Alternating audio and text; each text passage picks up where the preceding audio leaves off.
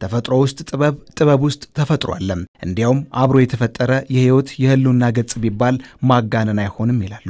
ትስስራቸውን በጥልቀት አይተናል ያሉ ጥበባውያን የጥበብ ቤተሰቦች መነሻቸውም መድረሻቸውም ተፈጥሮ ነው። የህይወት ባለቀለም ሰበዝም ውበትን መገለጫው ያደረገችው ጥበብ ናት። የእነዚህን ሀሳቦች ትስስር በእርግጥም በእንጦጦ ፓርክ ማየት እንችላለን ሲሉ ያነሳሉ የጥበብ ቤተሰቦቹም። ከሁሉም በላይ ለእኔ ያስደስታቸው ነው ምንድን ነው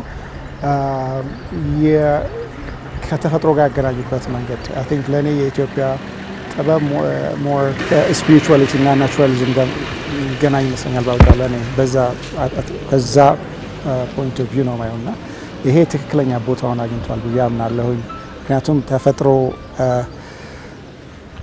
ያለበት ቦታ ላይ መጥተን ተፈጥሮን እያደነቅን at same time ደግሞ የጥበብ የስራ ውጤቶችን የምናይበት ቦታ መኖሩ እጅግ በጣም ደስ የሚያሰኝ ነው።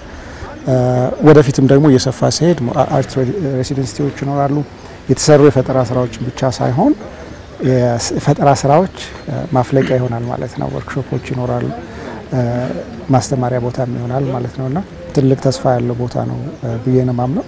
በዚሁ በእንጦጦ ፓርክ ጥበብና ተፈጥሮ የደረጀ ወዳጅነትን የጠነከረ መተሳሰርን ፈጥሯል። ለጥበብ ተብሎ የጎደለ ተፈጥሮ፣ ለተፈጥሮ ተብሎ የጎደለ ውበት የለም። ተፈጥሮም አልተረበሸም፣ ጥበብም ቦታዋን አግኝታለች። ለዚሁ ነው የፓርኩ ግንባታ ሀሳብ ምንጩ ጠቅላይ ሚኒስትር ዶክተር አብይ አህመድ ጥበብና ጥበባውያን እንዲመቻቸው ላደረጉ ሁሉ ምስጋና ማቅረባቸውም የእንጦጦ ቤተ ጥበባትን መርቀው እየከፈቱልን ይገኛል።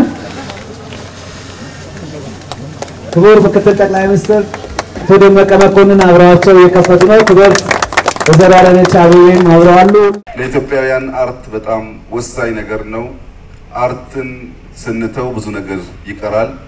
በ art ብዙ ሙያ ያላቸው ቦታ ያጡ ሰዎች ኢትዮጵያ ውስጥ አሉ። ለነሱ እንዲመች አድርጎ የአዲስ አበባ ዩኒቨርሲቲ የ art ተቋምና እንዲሁም አቶ ዮናስ በትብብር ለሰሩት እጅግ የሚያምር የአርት ጋለሪ እነሱንም እጅግ አድርጌ ማመስገን እፈልጋለሁ። በዚሁ በእንጦጦ ፓርክ ጥበብ ልዩ ቦታን አግኝታለች። ዓለምንም ጭምር ያስደመሙ ሰዓሊያንና ቀራጺያን፣ ሌሎችም የጥበብ ሰዎች ባሉባት ሀገር መዲና መገኛውን ያደረገው የእንጦጦ ፓርክ ለጥበብ ቤተሰቡ የተበረከተ የሥነ ጥበብ ማዕከልንም ያካተተ ነው። በእርግጥም ለጥበብ የተሰጠው ቦታ ትልቅ ስለመሆኑ ማሳያ ይሉታል። በጣም የብዙ የኢትዮጵያ ሰዓሊያን ፍላጎት ምኞት ነበረ። ረዥም ዘመናት ስራቸውን የሚያሳዩበት ቦታ በጣም ውስንነት ያለው በጣት የሚቆጠሩ ነበረ። አሁን ግን እዚህ ፓርክ ውስጥ ብቻውን ብቻ ሳይሆን ከሌሎች መጎብኘት ከሚችሉ ቦታዎች ጋር አንድ ላይ መሰራቱና ዛሬ ለምርቃት መብቃቱ ለስነ ጥበብ ማህበረሰቡ ትልቅ ደስታን ትልቅ ፍስሐን የሚሰጥ ነገር ነው። የኢትዮጵያ የጥበብ ውጤቶች የዚህን ያህል ስብስብ በአንድ ቦታ ለመጀመሪያ ጊዜ ያየሁበት ነው። በጣም ከአንጋፋዎቹ ጀምሮ እስከ ቅርብ ጊዜ ታዋቂዎቹ ድረስ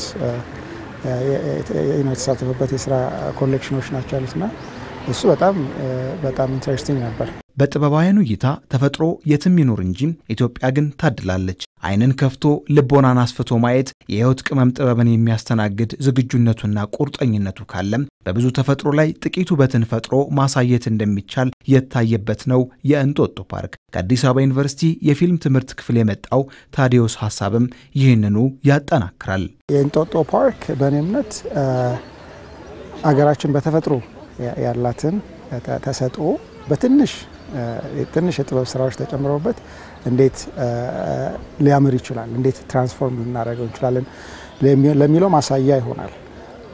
በቅርቡም ሌሎች ሌሎች ሌሎች የሀገሮቹ ክፍሎች ተመሳሳይ ፕሮጀክቶች አሉ። ለዛ እንደ ጥሩ ማሳያ ነው። በጣም በአጭር ጊዜ በጥሩ ሁኔታ የተጠናቀቀ ፕሮጀክት ነው።